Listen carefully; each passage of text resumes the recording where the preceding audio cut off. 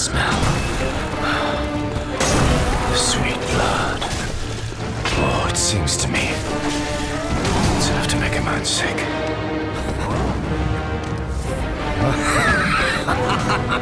sick.